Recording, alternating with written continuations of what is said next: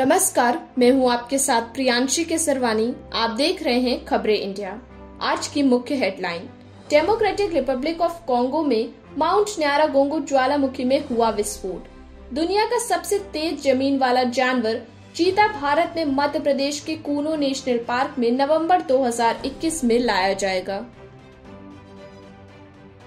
अब खबरें विस्तार से। कांगो लोकतांत्रिक गणराज्य की सरकार ने ज्वालामुखी माउंट न्यारा गोंगो के फटने के बाद गोमा शहर के लिए एक निकासी योजना शुरू की है। आपको और बताएँ तो माउंट न्यारा गोंगो ज्वालामुखी गोमा से 10 किलोमीटर दूर स्थित है। इस विस्फोट के बाद इसने हज़ारों निवासियों को बहुत भयभीत कर दिया है। इसलिए वे अब पूर्व में रवांडा की ओर भाग रहे हैं। यह ज्वालामुखी आखिरी बार 2002 में फटा था। और इसमें 250 लोग मारे गए थे। इसने एक दशमलव दो लाख लोगों को बेघर कर दिया था। माउंट न्यारा गोंगो या दुनिया के सबसे सक्रिय और खतरनाक ज्वालामुखियों में से एक है। विरुंगा पर्वत में इसकी ऊंचाई 3,470 मीटर है जो अल्बर्टीन रिफ्ट से जुड़े हैं। यह ज्वालामुखी कोंगो लोकतांत्रिक गणराज्य में विरुंगा राष्ट्रीय उद्यान के अंदर स्थित है। इस ज्वालामुखी का मुख्य क्रेटर लगभग दो किलोमीटर चौड़ा है और इसमें लावा झील शामिल है।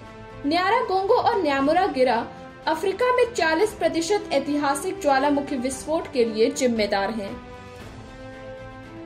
विरुंगा राष्ट्रीय उद्यान के बारे में बात करें तो यह राष्ट्रीय उद्यान कोंगो लोकतांत्रिक गणराज्य के पूर्वी भाग में अल्बर्टीन रिफ्ट घाटी में स्थित है। इसे 1925 में खोला गया था। यह अफ्रीका का पहला संरक्षित क्षेत्र है इसे उन्नीस से खतरे में विश्व विरासत की सूची में सूचीबद्ध किया गया है।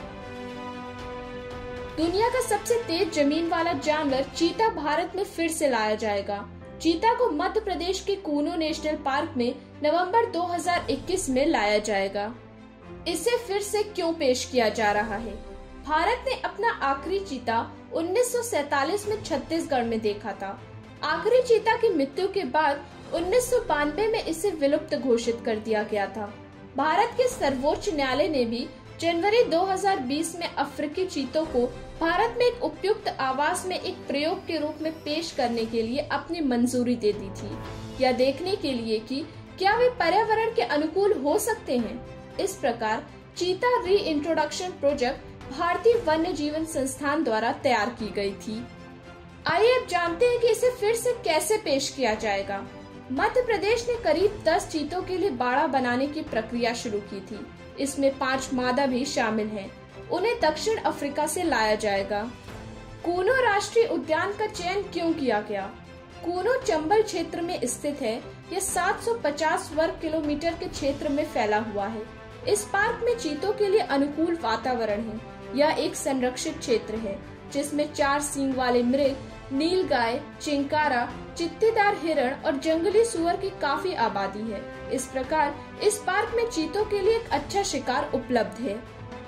चीता अफ्रीका और मध्य ईरान का मूल निवासी है। यह 80 से 128 किलोमीटर प्रति घंटे की रफ्तार से दौड़ सकता है। चीता को International Union for Conservation of Nature की खतरे वाली प्रजातियों की रेस्ट लिस्ट की कमज़ोर श्रेणी में सूचीबद्ध किया गया है। ऐसा इसलिए है क्योंकि इसकी जनसंख्या घटकर इकहत्तर सौ हो गई है। यह मुख्य रूप से अफ्रीकी सवाना में पाए जाते हैं। आज की रिपोर्ट में बस इतना। बाकी के खबरों के लिए बने रहिए खबरें इंडिया के साथ।